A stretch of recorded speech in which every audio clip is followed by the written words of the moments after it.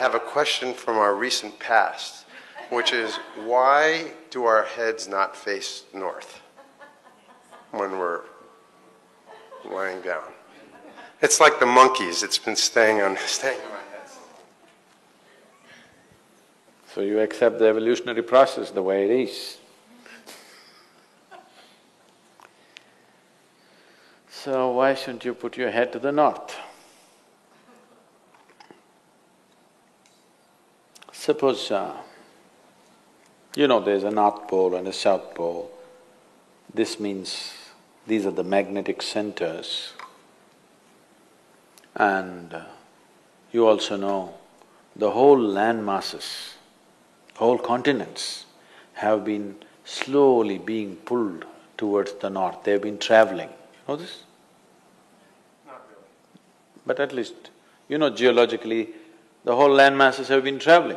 Why the Himalayas is the… whatever we are seeing, the Himalayan mountain ranges, that Manasarovar, you will find seashells in Manasarovar because at some point it was at sea… it was at mean sea level. Today, it is at fifteen thousand six hundred feet. So what transported this lake bed, which was at sea level, to this place is the whole Indian subcontinent is crashing into the Central Asian plate.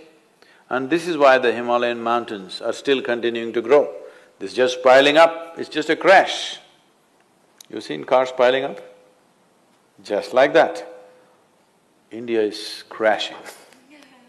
Every year, India is losing about 1.23 centimeters or so. I'm not perfect on the number, somewhere in that range. Every year, India is losing about 1.23 centimeters or something because it's crashing into the Himalayan range and it's piling up. Because the magnetic pull of the North Pole is slowly pulling all the land masses upward. So such a huge magnetic pull where the continents are moving up, that kind of magnetic pull is constantly in enforcement across the globe. Suppose you had a little bit of anemia, if you went to your doctor, what does he prescribe for you? So it seems to be like it's an important ingredient of your blood, yes? So if iron is floating around in your blood, and if I put a very powerful magnet to the top of your head, it is possible that slowly blood may start moving in that direction, isn't it? Let's say if it's a very, very powerful magnet, it may start slowly pulling it up because there is elements of iron in the blood. Your body is designed like this, that your heart, which is the pumping station of the circulatory system, is three-fourths of the way up, not halfway down, because it is difficult to pump against gravity, easier to pump towards gravity, so it's placed here. Generally, all the pipes that are flowing down are larger ones, what is going up are much finer ones. As it goes up here, they're almost hair-like. So minute that the circulatory system in your brain is such that if one extra drop enters there, hemorrhages will happen. People have strokes. So now you were like this, now you went like this. Already there is a little bit of imbalance in the system because heart was pumping, calculating the gravitational resistance. Now suddenly there's no gravitational resistance, you became like this and now you put your head towards the north. Slowly, it gets pulled towards your brain. So one thing that could happen to you is you could have disturbed sleep. If you put your head to the north and sleep, you could have disturbed sleep, all kinds of dreams happening.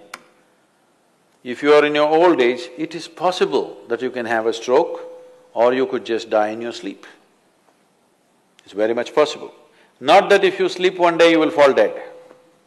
Every day, every day, every day, if your bed is arranged that way, that every day you're sleeping, put your head to the north, you are asking for trouble.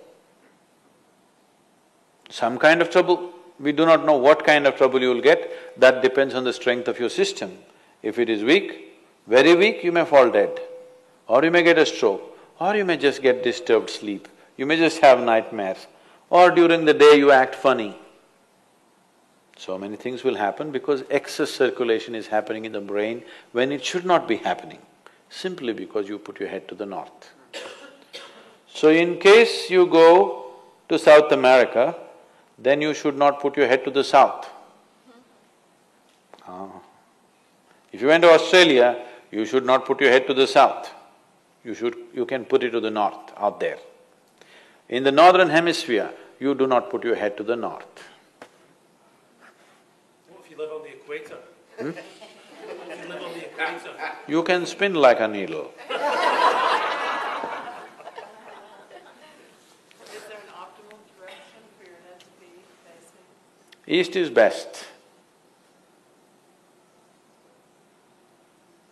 Northeast is okay.